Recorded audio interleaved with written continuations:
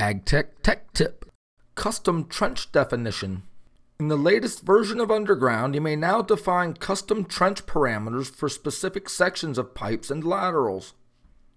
When creating a pipe or lateral structure, the trench parameters are created for each structure. Now, these parameters are used to calculate the trench volumes, as well as defining the trench template to be used when creating the underground surfaces.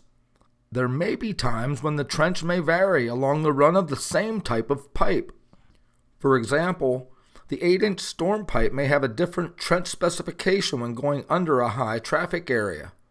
One way to do this is to create a separate pipe structure for each type of trench and enter the pipelines accordingly. Alternatively, you may now use the custom trench option to modify the trench parameters and create the new structure automatically.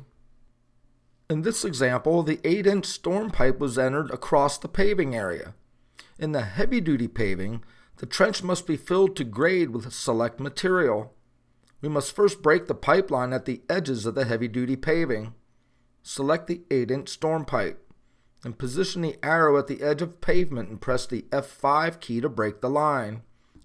Repeat this for the opposite edge of pavement double-click on the section under the heavy-duty paving.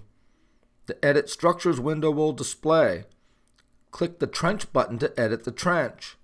And click the Custom tab. Check Fill to Grade and click OK. A new structure will be created for this section of pipe. And click OK to save the changes. You may now reassign any other pipes with this condition to this structure. You may also add segments to the trench description to add a bench. In this example, any sewer pipe deeper than 8 feet requires a bench. We may use the depth brackets to determine where the pipe is deeper than 8 feet. Click the Options menu and select Depth Brackets. Edit the color of the sewer pipes deeper than 8 feet to a different color. And click OK. Click the View Depth Brackets button and we can now see where the pipe is deeper than 8 feet. Position the arrow at the beginning of the 8 feet or deeper pipe and press the F5 key to break the line. Then double click on the section of pipe deeper than 8 feet. The Edit Structures window will display. Click the Trench button to edit the trench. Then click the Custom tab. Click the Add button and a bench will be added to the trench description. You may edit the required parameters in the trench description. And click OK. And a new structure will be created. This section of pipe will now include the bench. Click OK to save the changes.